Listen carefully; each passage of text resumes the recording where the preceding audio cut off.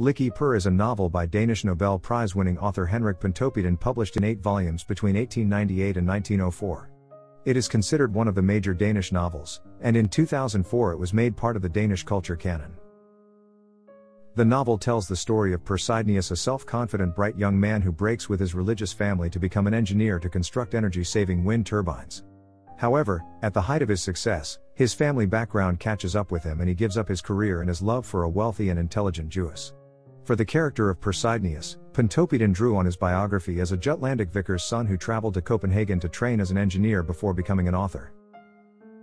The novel was well received by German literati such as Thomas Mann, Georg Lukács, and Ernst Bloch, who considered it a cosmopolitan masterpiece of epochal sweep and a profound social, psychological, and metaphysical anatomy of the modernist transition. While it had been translated into 11 languages before the end of the 20th century, the first English translation was published in 2010 by Naomi Lebowitz.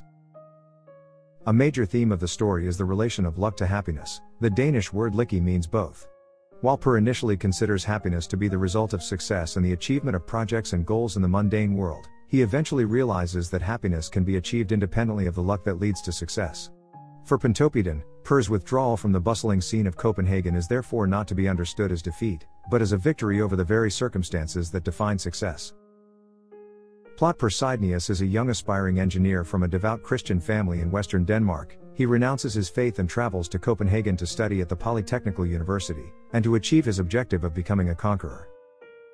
In Copenhagen, he comes into contact with the modern as a revolutionary force in the form of the natural sciences and technology, but also the cosmopolitan and intellectual circles of the wealthy Jewish milieu. He becomes a friend of the banker Philip Salomon and has a brief and tense relationship with his daughter Jakobe.